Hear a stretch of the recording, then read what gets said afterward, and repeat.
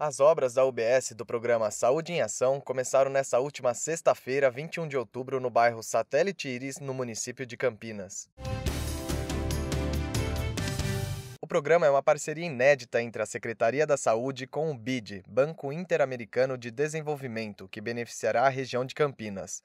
No total, serão entregues 26 clínicas de saúde. São 13 unidades básicas de saúde que vão beneficiar os municípios de Campinas, três aqui em Campinas, também Dayatuba, Montemor, Itatiba, Morungaba e Vinhedo.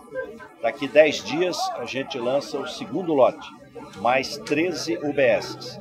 Esta aqui, por exemplo, aqui no, no bairro Satélite Iris, são 3,4 milhões de reais, 3 milhões de obra e 400 mil reais de equipamento a região vai ganhar uma nova forma de fazer atenção primária. A atenção primária, ela estrutura o sistema de saúde como um todo, porque ela é a base da pirâmide.